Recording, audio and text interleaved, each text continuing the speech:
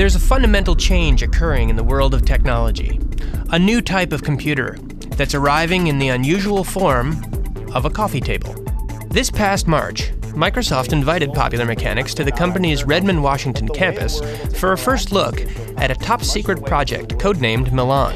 It is the first of its kind uh, in that it is a new paradigm in computing. It's called surface computing. This type of interface works especially well for photo sharing, maps, and menus, where browsing on a traditional screen pales in comparison to the detailed, hands on manipulation people are used to with paper. You can do things like organize your photos, drag them around and resize them, and play with them as if they were real photos, real printed photos. And here we even have a little video. Surface computing utilizes multi-touch technology which is a multi-finger, multi-user interface that has been bouncing around the world of computer science since the 1980s. This is a multi-touch uh, input device, and multi-touch, uh, which generally means multi-point input devices, are about allowing more than one input uh, to be processed at a time. NYU computer scientist Jeff Han builds huge multi-touch displays for corporate and military clients through his company, Perceptive Pixel. In fact, multi-touch is swiftly becoming the hot interface for electronic devices. Multi-touch, first of all, allows for direct manipulation. It means you're actually contacting not to an intermediary, but actually on the graphics itself. It's a direct manipulation interface. Two, it means that I can do more than one point at a time. I can actually use two or three, which means I can manipulate more things at a time. With a mouse, you can only manipulate one or two things at a time. But where Microsoft Surface Computer truly gets mind-blowing is how it interacts with other devices.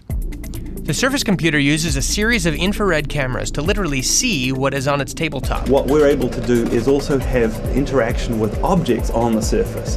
So when we place an object on the surface, the cameras can recognize what that object is and allow us to interact directly with that object that we've just placed on the surface. We see this as a whole new category, a complete new ecosystem for computers. Here we have a wireless camera and a lot of wireless uh, functionality is built into the, the Surface computing platform and it's evolving into, into devices such as this camera.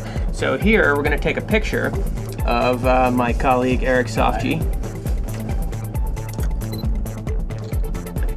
and we can then just put the camera right on the uh, right on the device and use that picture, which is I think enormously flattering of our friend Incredibly Eric Sofge. Great angle. And, and really, really blow it up for maximum embarrassment. We have a cell phone and all the wireless linking is going on behind the scenes in the table. So you can take your photo and then just instantly put it on your wireless device and then take it with you. Now you've basically taken two devices and without having to plug them into a computer or sync them up, you've transferred content from one to the other. Although Surface computing may eventually find a place in the home, Microsoft initially plans to sell the devices to commercial partners such as T-Mobile, Harrah's Casinos, and Starwood Hotels. The $5,000 to $10,000 machines will start showing up in local retail stores as early as the end of 2007. But where is all of this leading? Computer scientists see a near future of ubiquitous computing, where people are surrounded by intelligent surfaces. Maybe the surface of your kitchen table, or it can be in front of your television, and it, can help you to control your your uh, your television kind of as an, as the ultimate unlosable remote control.